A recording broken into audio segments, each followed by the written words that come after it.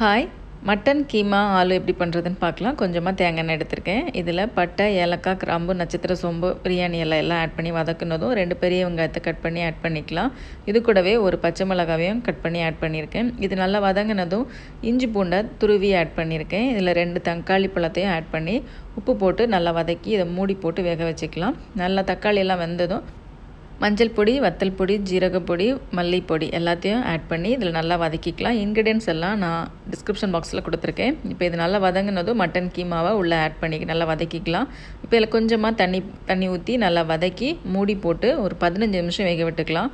பதினஞ்சு நிமிஷத்துக்கு பிறகு இதில் கொஞ்சமாக குட்டி குட்டியாக கட் பண்ண உருளைக்கிழங்கு ஆட் பண்ணி நல்லா வதக்கி மறுபடியும் மூடி போட்டு பதினஞ்சு நிமிஷம் வேக வச்சுக்கலாம். இப்போ சூப்பரான மட்டன் கீமா ரெடி இதுக்கு மேலே கொஞ்சமாக பெப்பரும் கொஞ்சமாக கொரியண்டர் லீவ்ஸும் தூவி நம்ம சர்வ் பண்ணிடலாம். இது ரொம்ப டேஸ்ட்டாக இருக்கும். கண்டிப்பாக ட்ரை பண்ணி பாருங்கள் லைக் அண்ட் சப்ஸ்கிரைப்